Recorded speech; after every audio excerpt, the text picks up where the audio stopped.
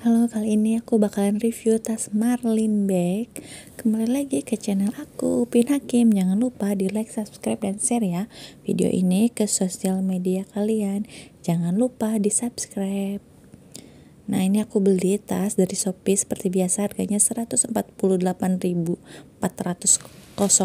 yes.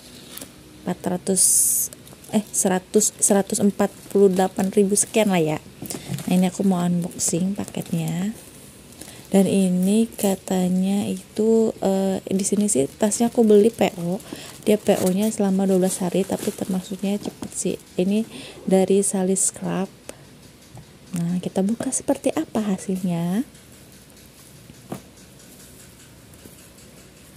Nah kita buka. Ini untuk packagingnya itu bagus banget. Ada kotaknya juga dan di dalamnya juga ada kayak tas pelindung dan ada plastiknya juga. Bagus sih.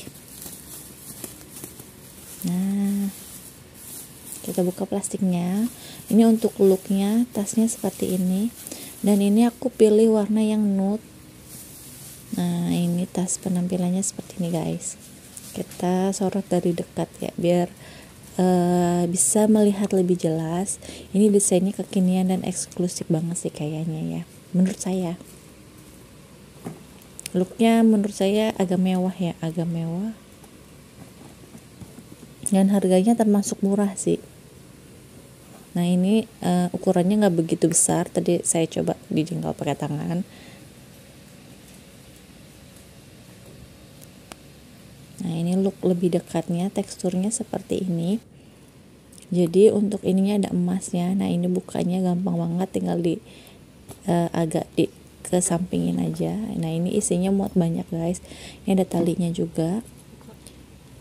Nah ini kita buka. Ini ada yang isinya pakai sleting juga. Ini pakai sleting.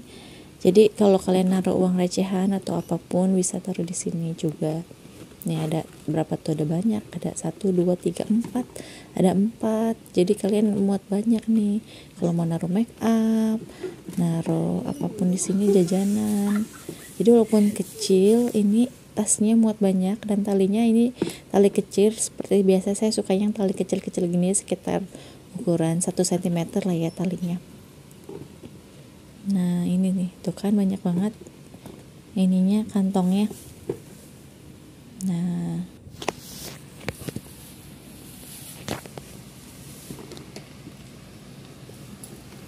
Wah ini sih the best banget sih nah lucu banget.